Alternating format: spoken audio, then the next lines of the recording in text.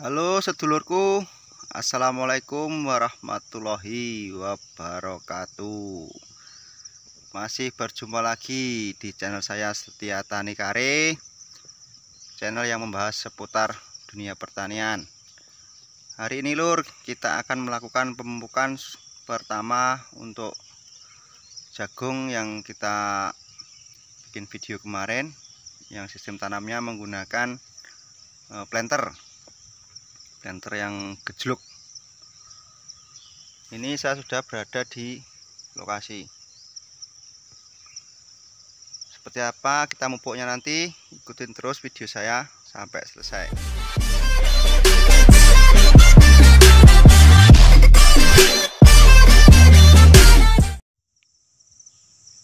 Ya ini lur pupuk yang kita gunakan.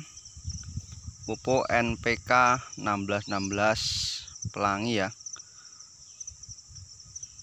NPK 1616 pelangi milik Kaltim pupuk Kaltim pelangi NPK Cipla Outplus dengan Petroganik. Ya ini pas ada ini. Dapat jatah cuma dua sak kemarin. Untuk perbandingannya 5 organik 2 NPK lur.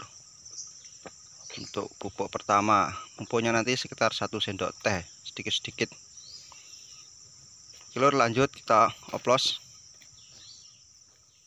Ya ini penampakan dari pupuk NPK pelangi lur.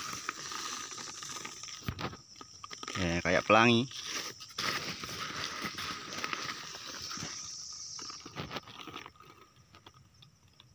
Putih merah sama agak kuning kecoklatan.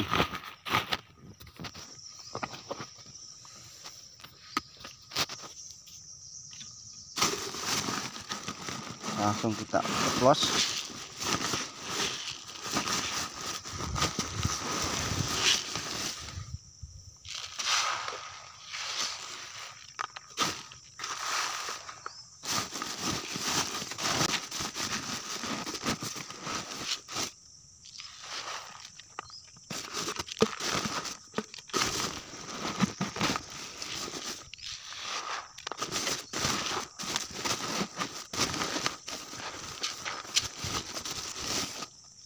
nah kita bikin empat ember dulu.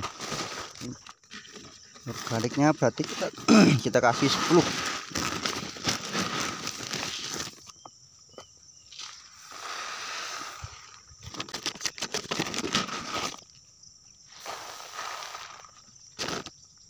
Nah, seperti ini lor penampakannya sudah kita aduk-aduk campur sampai rata langsung kita masukkan ke alatnya. Ini alat andalan saya ini. Bikinan sendiri. Cara bikinnya ada di video saya sebelumnya ini bang. Ini memodalkan curigen kita kasih cangklongan pakai tas tas bekas.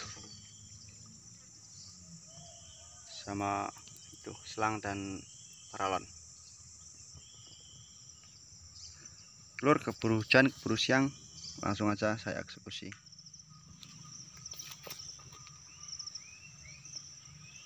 Ini tanpa olah tanah lur. Jadi dibabat semprot herbi langsung gas.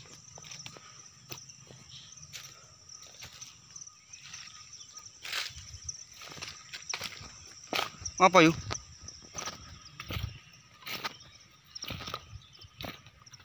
macet.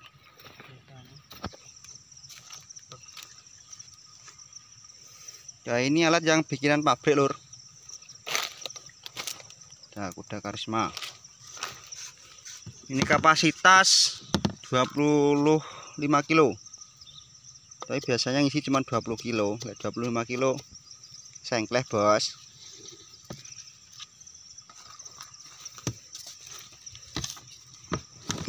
nah ini dalamnya seperti ini ada saringannya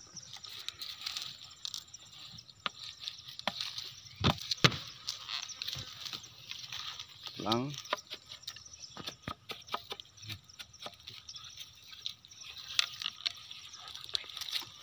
Oke, nanti kita lihat sistem kerjanya seperti apa ya. Nah, kalau mau pengen ini alatnya nih bisa lewat Tokopedia. Dah. Nah, seperti itu lur sistem kerjanya. Jadi kayak macam orang buta itu. Nah, tinggal dicelok, celok, celok, celok. Itu untuk keluarnya pupuk bisa di setel mau sedikit atau mau banyak.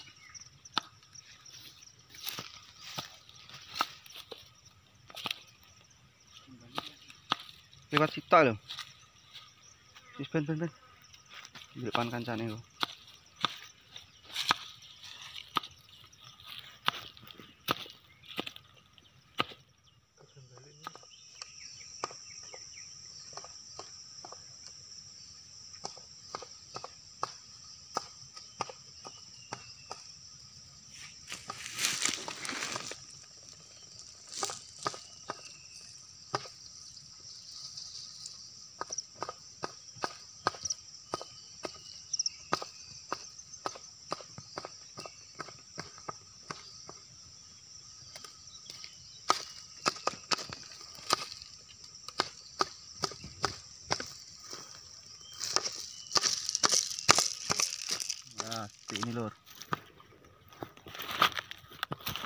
ก็ตอกลวดเนี่ย